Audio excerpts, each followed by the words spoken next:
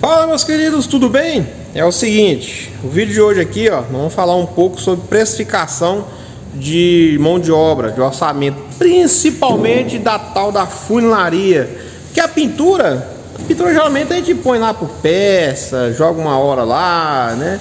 É mais fácil de precificar. Agora, funilaria, cara, é o seguinte, é, você pega um carro, né? Aí você dá um preço de funilaria. Quando você começa a funilaria, o trem começa da BO, aparece mais coisa, mas aí você já deu o preço da funilaria. Como é que você faz? É o seguinte, vou te dar um exemplo aqui do Fusquinha. Tipo aqui, galera, o Fusquinha aqui, por exemplo, ó, tem que arrancar o motor, né? O Fusca aqui, ó, o Flavinho tinha cobrado, eu tinha cobrado 500 reais para fazer a funilaria dele, do teto. Funilaria do teto e eu acho que aqui na traseira, ó. Tinha um negócio aqui, aqui na traseira, tinha um negócio aqui que estava meio desalinhado. Mas só que aí é, você tem que deixar bem claro isso no começo, lá no começo do orçamento. Toda vez que você vai fazer uma funilaria, você fala para o cliente bem assim, ó, o serviço de pintura é tanto, porém, eu vou falar da funilaria depois, da pintura depois. Primeiro eu vou falar da funilaria. É, é tanto, porém, pode ter complemento, certo? Igual faz em seguradora. Seguradora chega com um carro batido, tem o orçamento inicial, que é o orçamento número 1. Um. Aí depois vem um orçamento número 2, que pode ser, pode ser chamado de complemento também, e pode ter um terceiro orçamento. Deixa eu pegar um exemplo de um carro aqui, ó. Pera aí. Por exemplo, você pega um carro desse aqui, ó, batida de frente. Tá. Não dá para saber se a batida de frente afetou a longarina ali embaixo, ó. A longarina ali embaixo. Beleza. Isso é, é uma coisa. Então, quando você desmonta o carro, tem peça lá que pode estar quebrada, que não está no orçamento inicial, o co complemento, né? Então você tem que dar um preço de inicial, por exemplo, a funilaria aqui, ó. Você sabe que para puxar uma frente funilaria e tal, você vai cobrar lá 300, 500 reais, né? Só para puxar. Mas só que às vezes pode ter afetado a coluna aqui, ó. Pode ter afetado a coluna. Que você só vai saber quando arrancar o para-choque, arrancar o paralama, né? Arrancar o capu. Tem coisas que às vezes afetou aqui, galera, ó. Afetou aqui assim, ó. Que você só vai saber depois que você colocar o capu no lugar. Entendeu? Às vezes afetou o teto. Às vezes você fez um orçamento aqui e tal, não sei o que, não sei o. Quando você vai mexer no carro, aí não tá dando alinhamento. Quando você vai ver, o teto aqui tá engrugido, as portas aqui não tá batendo, às vezes o carro encolheu muito, entendeu? Então tem muito isso. E também pode ser que teve uma batida de frente, às vezes só bateu aqui assim, ó, no paralama, só correu o paralama. Então às vezes nem precisa pôr cibola, às vezes você só puxa, coloca o paralama um pouquinho para trás, né? Aqui nos, nos pontos aqui, só corre, entendeu? Só chega para trás e já alinha, não, não afetou a estrutura. Beleza? Agora da, da pintura, como é que você vai saber se estragou aqui a coluna para poder pintar, sendo que você nem tirou o paralama, né? Então é um desses pontos aí que a gente tem que ficar muito esperto quando você for, for, dar orçamento de batida de carro.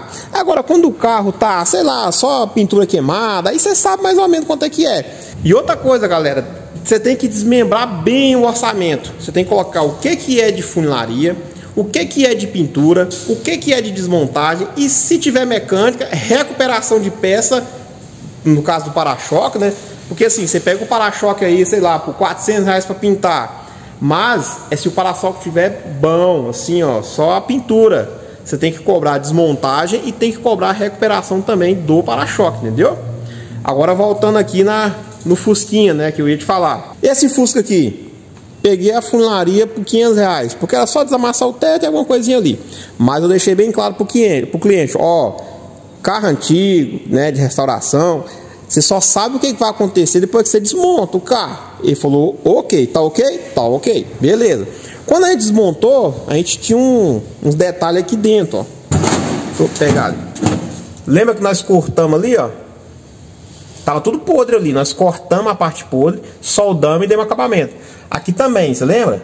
Nós cortamos ali, fizemos acabamento. Só ver os vídeos anteriores aí que a gente vai ver. Essa pintura aqui não tava. Então aumentou a pintura aqui. Certo? Porque a pintura que eu tinha dado orçamento para ele era só aqui, ó, do painelzinho, entendeu? Ali já não tava. Então aí já é um complemento de pintura. Aí teve um acréscimo de pintura. Funilaria. Então, aumentou o que na funilaria? Aumentou essa parte aqui, né? essa parte aqui. Ali também aumentou aqui por dentro. Os pés da coluna também aumentou, porque tem que fazer uma soldinha aqui. E do lado lá também, essa aqui, ó, tava tudo podre, tá vendo? Aí nós dá opção pro cliente. Ou ele troca tudo aqui, que eu que não, não precisa, não precisa, né? Trocar o conjunto todo aqui, ó. Que tá recente, aqui, ah, tá boa a peça, ó. A peça tá boa. Só tem que dar uns acabamentos só. Então, aumentou mais essa funilaria aqui, ó. Certinho? Então, resumindo aqui, ó. A funilaria aqui era 500. a funilaria aqui era 500. Ela foi pra Aí o Flavinho tinha me cobrado, me cobrado não, né? Cobrou, ficou em 1.500, ficou em 2.700 aqui a funilaria. Só a funilaria desse carro. Mas o que, é que foi a funilaria? Tirar o, tirou um podre ali, tirou esse aqui, é, ali, né? Que foi aquele pedaço ali, aquele outro pedaço ali. que mais que aumentou? Ah, tá, teve que colocar ciborgue aqui. Essa pintura aqui aumentou também. Então aumentou. Foi 2,5 de 2,700 de funilaria. E ele vai gastar aqui. Vai chegar mais 10 mil essa pintura aqui, hein? É, vai, parar, vai mais ou menos assim mesmo. Vai passar 10 mil aqui a pintura. Certo? É, a pintura mesmo em si, ela, ela não foi. Ela não foi. Ela não tá difícil essa pintura desse carro aqui. Ela não, não tá difícil. Porque o que aumentou na pintura mesmo só foi aqui dentro. Que, é que foi o mais complicado, né? Ah, os paralamas tá ali, ó, já tá no primer já. Os paralamas já tá tudo no primer ali. Vou começar a taquear agora. E as, os paralamas eu ranquei tudo, né? As massas dele. E as portas também eu ranquei tudo, galera. Mas só que isso aqui eu não coloquei a mais não, entendeu? Isso aqui é, já estava no, no, combinado, já estava no combinado já do primeiro orçamento da pintura, que eu sabia que poderia arrancar que eu poder arrancar. E outra coisa, eu, eu não vou. Por mais que eu tenha pego normal aqui, ó. Essas peças aqui. Por mais que eu tenha pego normal aí, o valor normal. Cara, aí já. Eu, assim, já vai um pouco da, de, de cada pintor, né? Eu não vou colocar um material bom em cima do material ruim. É a mesma coisa de você ir no dentista, fazer a obturação do dente e ele arrancar, limpar o seu dente até onde ele precisa limpar para ficar bom e jogar outro material por cima. Vai ficar do mesmo jeito. Quer ver? Vamos supor aqui, ó. É, tava cheio de ferrugem aqui assim, ó. É, ferrugem não, deixa eu ver. Não, foi aqui, ó. Foi nessa aqui. Tava cheio de, de, material aqui enferrujado por baixo, pipocando. E aqui tava bom, ó. Tava zero aqui, ó. Tá bem bonitinho aqui assim. É, até que aqui nem pegou massa, né? Vou só jogar umas prime aí e, e, isolar tudo no prime aí. Então, ou seja, se eu jogo um, só lixo aqui e jogo um material por cima, ia dar problema para mim depois. Isso aqui ia dar problema para mim depois. Então eu prefiro arrancar todo o material e começar do zero. Por que, que eu não fiz no teto? Porque o teto, galera, ele tá bom. O teto acho que é olha, original o teto, ó, tá vendo? O teto tá bom, então não tem a necessidade de arrancar todo o material. Aqui também, ó, tem pouco material, tá vendo? Então não tem necessidade de arrancar material. Ah, já aplicou massa em cima de tinta? Pode, porque aqui é original esse carro. Quando é peça original, você pode aplicar, galera, não, não tem problema. Ou de um verniz bem curado, entendeu? Não tem problema não. Certinho? Aqui, aqui não, aqui já foi. Porque aqui tem pouca massinha, foi só um acabamentozinho. Então, galera, fica a dica de hoje aí, ó. Isso aqui é um vídeo para para quem gosta muito de fazer orçamento de orçamento grande, né, assim. Fica esperto, ó. Se você for fazer um orçamento de pintura, se, se você gosta de, de fazer orçamento por peça, é uma coisa. Se você quer colocar por hora, você tem que saber precificar sua hora de trabalho também. Por exemplo, aqui nessa oficina aqui, ó. Que tá bagunçada ainda. Tá, tô, eu tô me ajeitando aqui. Tem muita coisa para resolver aqui dentro ainda. Essa oficina aqui, ó. Eu mais o Arnaldo, a gente deve produzir aí de 25 a 30 mil eu acho que nós dois só, nós dois. 25 a 30 mil. Então, se você for pegar 30 mil de mão de obra, né? Dividir pelos dias trabalhados e você vê as horas trabalhadas e depois você divide pelas horas trabalhadas, você vai ver que vai ter um valor X de hora aí. Aí você vai e pega um carro desse aqui, ó. Um carro desse aqui, ó. É tampa, é a caçamba inteira. A caçamba inteira. Então, ó, tampa as duas lateral e o paralama. Aqui, ó, a gente gasta aí, sei lá, dois dias, dois dias de preparação de pintura, fora polimento, fora montagem, fora funilaria. Funilaria aqui o cara gasta meio dia, então você vai pagar lá umas 4 horas de funilaria aqui. Pintura aqui, ó, você vai gastar dois dias, então sei lá, 16 horas. Um, exemplo, 16 horas trabalhada aí. Você fica o dia inteiro para preparar. Não, umas, do, umas 20 horas aqui de funilaria, de pintura. 20 horas de pintura. Então você faz as contas aí. Você que tem uma oficina pequena, ou você que tem uma oficina grande também. Pega o quanto que você produz, divide pelos dias trabalhados e depois divide pelas horas trabalhadas. Você vai achar mais ou menos em média as horas, o valor da sua hora, né? Esse aqui é uma conta que você tem que saber de cabeça. Geralmente a média das oficinas é entre 50 e 80 a hora.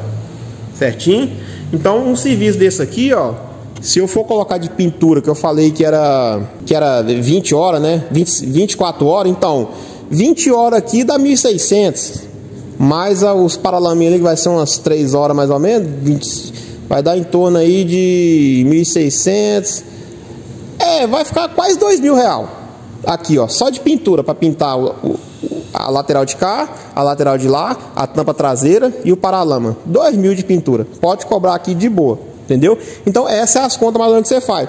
Já as horas de funilaria tem que ver. Você vai ter que ver quanto que vale o quanto que você produz de funilaria. Funilaria em oficina pequena é mais difícil, galera. É mais complicado. Agora, em oficina grande, você já tem que ter também a precificação. Geralmente, a funilaria é mais cara, a hora da funilaria é mais cara. Isso aqui, um orçamento desse aqui, ó. Um orçamento desse aqui, ó. Aqui eu cobraria 3 horas de montagem, 20 horas, 20 a 25, 25, média, né, de 20 a 25 horas de pintura e umas 5 horas de, de funilaria. Então, um trampo desse aqui, ó, iria gastar, aí a hora de montagem, eu acho que é 50 real a hora, de pintura, a hora de pintura é mais ou menos uns 80 e a hora de funilaria pode jogar 100. Então aqui ó, cobraria uns 500, 600 reais de funilaria. De 500 a 600 reais de funilaria, 2 mil reais de pintura e sei lá, umas 5 horas de montagem. Então vai colocar mais uns 200, 250. Então galera, um trampo desse aqui ó, o cara gasta 2 mil, 2.500 de 2.800 a 3.000, um, um trampo desse aqui, ó. Lateral, é tampa, a lateral de cá e o paralama de lá de lá. Certo? O cara vai gastar aqui essa, essa média, né? Aí você pode negociar para mais ou para menos. Por exemplo, um trampo desse aqui, ele é mais difícil de fazer do que um trampo desse aqui que está na cabine aqui, ó. Que aqui era mais arranhadinho, tá vendo a tampa? Mas é arranhado. Então você pega um trampo desse aqui, ó. Esse aqui eu acho que foi dois e pouquinho também, ó. Aí é igualzinho lá de lá, galera. Igualzinho, ó. Porém, a, diferença é que aqui você faz o serviço mais rápido, lá vai ser mais demorado. Esse aqui foi mesmo, a pintura aqui foi dois mil. Ah, não, mas foi do dois e pouquinho com para-choque. Tá vendo, galera? Ó, é isso aqui, ó. Certinho? Então, é igual eu tô te falando, galera. É a média, né? Então você pode colocar aí 80 real a hora de pintura 50 real a 60 horas de desmontagem montagem, né? É que você tem que cobrar de desmontagem e montagem. Aí se tiver mecânica, é combinado, você vê. Mecânica é assim, ó, vamos supor, o cara cobrou aqui 200, 250 ou 300 reais para tirar esse motor e colocar. Tá, mas a oficina é minha. Eu tenho que ganhar também. Porque senão o cara pega o guincho aqui, leva lá para a oficina dele e ele faz o serviço depois traz para mim de volta. Mas se o cara vem na minha oficina desmontar o carro, para depois ganhar na minha oficina sem eu ganhar nada, pô, eu tenho que ganhar alguma coisa aqui também na, na, na, na montagem, na, na, mecânica, né? Quer dizer. É a mesma coisa também de, de polimento. É, vamos supor que essa caminhonete ali, ó, aquela caminhonete lá. Eu fiz a pintura e o cara fala bem assim, não, eu quero que você faça o polimento geral dela. O que, que você faz? Às vezes você não tem um polidor. Então você, vê, você contrata um polidor, traz ele aqui, você cobra lá a média aqui de uns 700 reais a 800 para polir uma caminhonete daquela ali, ó. Então, ou seja, você vai pagar pro o cara, você vai, aí tipo assim, ó, um polidor, ele vai ficar o dia inteiro para polir uma caminhonete dessa, talvez um dia e meio.